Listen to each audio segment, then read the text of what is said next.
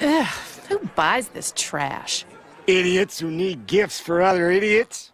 Hey, I got you guys refrigerator magnets. Get it off. Get it off. Get it. Uh-oh. How many roads must a man walk down before you... Keep those things off of me. Magnets screw up my inhibition unit. So you flip out and start acting like some crazy folk singer? Yes. I guess a robot would have to be crazy to want to be a folk singer.